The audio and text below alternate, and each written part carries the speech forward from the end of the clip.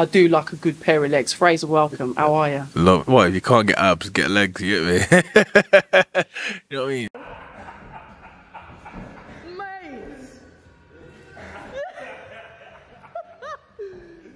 yeah, people will look at me and the pedigree that, that I've got and my accolades and think this guy should be fighting uh, better opponents. The one thing that I think all all the guys turning amateur to pro realizes, and I don't mind admitting this, we're not as good as we think we are. Do you know what I mean?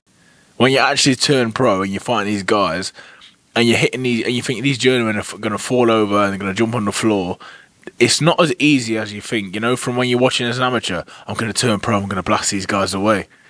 People ain't there to be blasted away. It's like they think they're never going to fight again.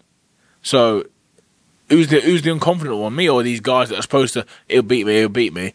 There's a lot of these lesser opponents that are pricing themselves out of work because they're, they're asking for stupid money to fight me. So it's a business. I, I'm not on that side of it, but I know what goes on. It's a business, remember, as well as a sport. There's people that are wanting to, uh, want, want that are being offered fights and they're saying, no, we want sort of X amount of money. Fuck off, man. You ain't getting that. You ain't getting that money. Where do you think this money's coming from? I'm a five and zero prospect, so it is what it is.